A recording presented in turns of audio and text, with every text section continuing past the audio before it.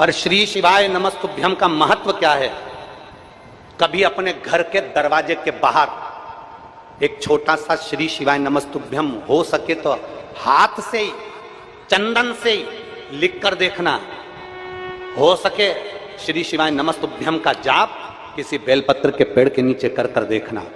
बन सके श्री शिवाय नमस्तुभ्यम बोलने वाले का केवल मुख का दर्शन कर लेना। हो सके श्री शिवाय नमस्तुभ्यम। तुम्हारे घर के नज़दीक में जो शिवालय भगवान शंकर के मंदिर हो वहाँ पर एक छोटा सा श्री शिवाय नमस्तुभ्यम, अपने खर्चे से वहाँ लगा कर देखना आते जाते व्यक्ति के मुख से बुलवा कर देखना कि उस मंत्र के जाप का फल क्या होता है। और हम पर भरोसा मत करो।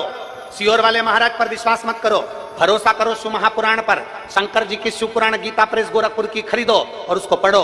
विद्येश्वर संहिता में लिखा है, श्री शिवाय नमस्तुभ्यम बोलने वाले का मुख का दर्शन, श्री शिवाय नमस्तुभ्यम कहने वाले के मुखाग्र का दर्शन हज़ारों अश्वमेघ यज्ञ के बराबर फल दे देता है। उसे पढ़ो।